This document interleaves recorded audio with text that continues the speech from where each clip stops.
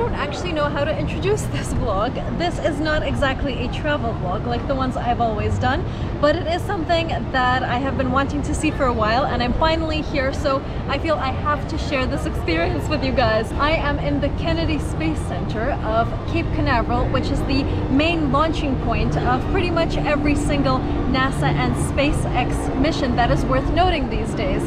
I didn't actually realize that the uh, Mission Control Center and the launch places were in two completely separate parts of the United States. But this is the first time I'm venturing into any area like this in the US. I've always done, uh, you know, big cities, big touristy spots but this I feel is for the real geek inside me. So let's go on this journey together. And in case you're wondering, everything that you just saw are actually real rockets. And it's crazy to see how far the space exploration game has come in the 30 years in between uh, the 60s and the 90s and even up to today. So the brief history of this place is that it first started being used in the early 50s, but then in the late 50s when Russia started upping their space game, uh, NASA started looking at this area and they actually bought quite a bit of the land here in the 60s. So then they spent the 60s uh, figuring out how best to utilize it and Kennedy said that in the next 10 years he wants people not only to be launched up to space but to be launched up to the moon. So that's exactly what NASA took upon themselves and that's exactly what happened as you all know. This is the spot where the Apollo missions were launched. It's the spot that today SpaceX uses to uh, launch their satellites as well. So it is very, very important um, when it comes to space exploration, which is something that a lot of people don't know because obviously Houston is the more famous one.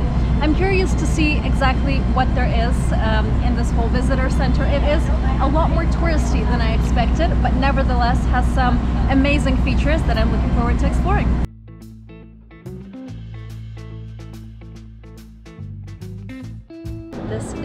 Space Shuttle Atlantis and it was in service for 26 years. A space shuttle basically mimics the movements of a rocket, a spacecraft, a glider, and everything in between, which is why the discovery and the manufacturing of space shuttles uh, was such a huge uh, revelation for people about 40 years ago when it was first made. Those mosaic tiles that you see we just watched a video about this and this is actually what caused some explosions to happen back when they were first making this shuttle because upon re-entry to Earth they would heat up and uh, they would melt away. So that's some of the problems that they faced. But look, I actually cannot believe that this thing behind me has been to space.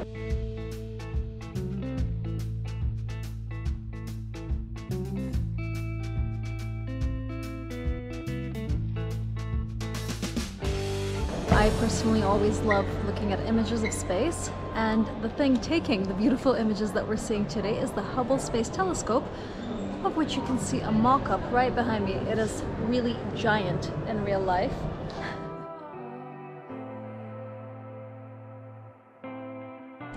Okay, I'm about to show you guys some Mars rovers, starting from the oldest ones all the way up to the newest one that was launched in 2020.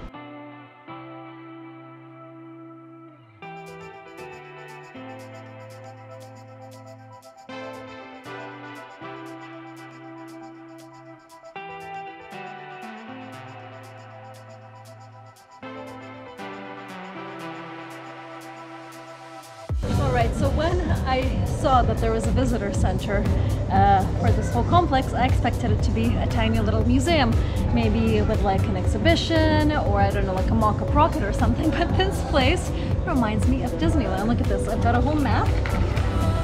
Got a map, there we go. It's full of activities for kids, for grown-ups. It's got rides, there's a bus taking you around, there's music blasting in the background. Here we've got the world's largest space shop, which I'm actually just curious about at this point. So let's go inside and see.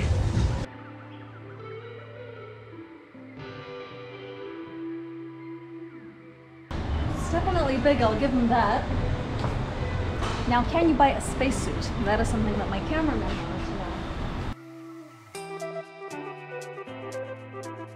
The answer is yes. What I did find in the space store is freeze-dried vanilla ice cream. Now this is something that apparently people in space would eat, like a bunch of freeze-dried food, and I've always wondered what it tastes like. So I got ice cream and um, some strawberries, but I thought ice cream was more appropriate because I do have ice cream in every single vlog that I do. This looks questionable. Looks like it's cardboard. Let's try it.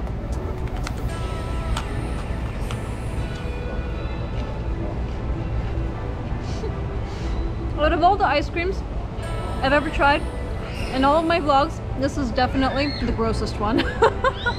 it's literal powder. Look. It feels like a toy. It feels like I'm eating cardboard. My cameraman's gonna have that now. Hold on, I'm gonna try the strawberries. The freeze dried strawberries. There we go. That's what they look like. A bit of nice marketing on the front cover, but what's inside is probably what they would get in less fancy packaging up there. Okay, there we go. Do you know what they taste like? Strawberry. Kill. Thank you, cameraman.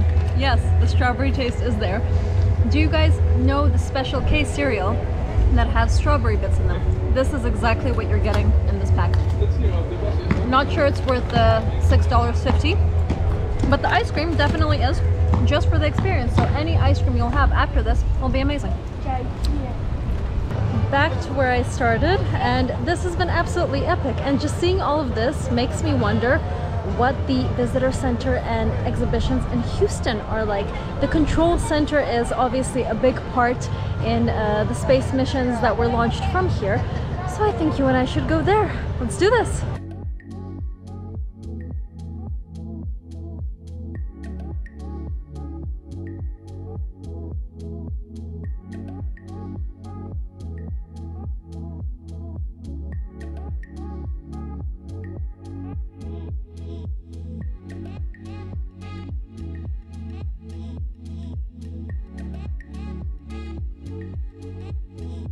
Look at that, made it to Houston. It only took about three days.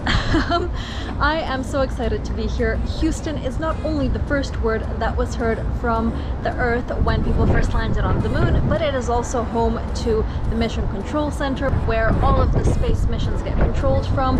It is home to the astronaut training program of which there have been about 3,000 people up until today. It is also the home to a very popular space program and space camp, uh, which you have to reserve years in advance to be a part of. And they've also made a huge uh, museum, exhibitions, and uh, tourist experience out of everything that they've uncovered in their space exploration program so far. So stick around. I know that you'll also enjoy this segment of the vlog. I'll try to see as much as I can and hopefully we'll be able to see something totally different than what we saw in Cape Canaveral. Starting my tour here at the Houston Space Center in a mega exciting place, which is this space shuttle. Now, space shuttles were a huge discovery uh, back in the 70s and 80s, and basically the way they worked is they would go to space, do what they had to do in the fashion that rockets would, and then they would glide back down to Earth onto the water. And that worked really well um, because they could get them back and not have them be destroyed up in space. But the thing is, to get them back to where they had to go on Earth, they would have to piggyback on a 747 plane, which is exactly what you're seeing behind me. So for me, this is absolutely astounding because this would happen in the very early 80s, and that's exactly the time period uh, that this particular shuttle is from. Really excited to take you inside the shuttle to give you a tour outside so you guys can see exactly why I'm as enthusiastic as I am right now.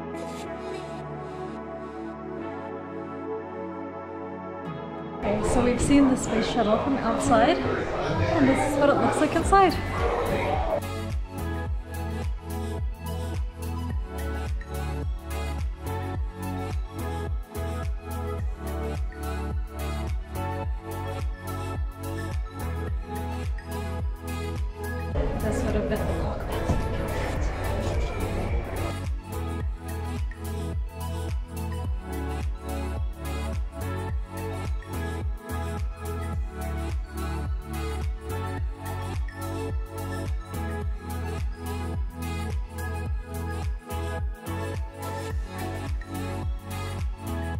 Have you ever been curious to see an actual spacesuit from 1969? Not only is it from 1969, but it was also worn by astronaut Mike Collins when he landed back on Earth from the moon landing mission of Apollo 11. And this spacesuit was actually used to walk on the moon during the Apollo 12 mission by astronaut Pete Conrad. This is one of the things that I really wanted to see when coming here. It sounds silly, but I was really excited to see pieces of the moon. I'm really fascinated by the moon. I've actually done a lot of paintings with the moon in it. I think it's in human nature to be awed and wowed by what we see in the sky. So to see pieces of it right in front of me is pretty surreal. We're just saying how you have to be an absolute nutcase to go to space and then come back in this tiny little thing and crash into the ocean with it and also be the first ever person to do that, like not knowing what's about to happen and just being like, yep, I'll do this. Everything's fine. And what you're about to see now is a piece of the Apollo 17 landing equipment. So that is the last manned mission that went to the moon. And obviously the size is already a lot bigger. There's a lot more room inside. It's more spacious. and almost looks luxurious in comparison to the other one that I've just shown you.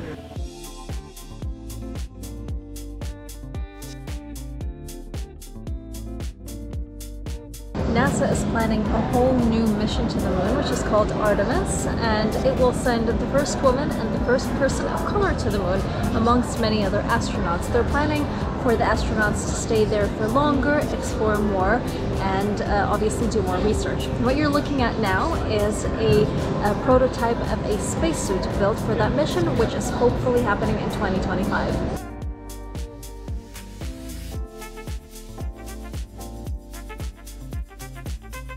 Got here is a space exploration vehicle, meaning that this would be used by astronauts who are already in space to get close to the targets they want to explore.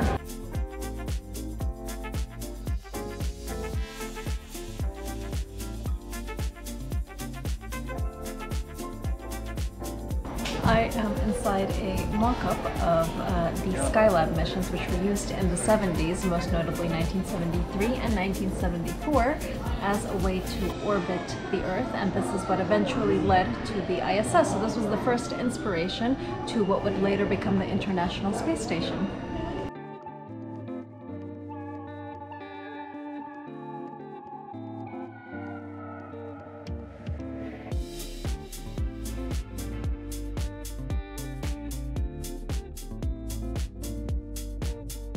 I would obviously love to come back to the Houston Exhibition Center. There's so much to do. You can spend the whole day here. I almost feel like it was a little bit less touristy and hectic than Cape Canaveral, but at the same time, I've only seen maybe about a tenth of it. There is just such huge variety in the things that you can experience here. So yeah, definitely a nice little introduction. Hopefully I shared some interesting things with you guys and I'm really hoping that at some point I'll get to come back and literally spend at least six hours here. Well, that is it for my Geeky Space vlog. I hope you enjoyed that. I would like you guys to tell me in the comments below which of these experiences you preferred and which of them you'd rather visit. Is it Cape Canaveral or is it the Houston Exhibition Center? Thank you so much for watching. Please like, comment, and subscribe. Keep smiling, read about space, and I'll see you next time.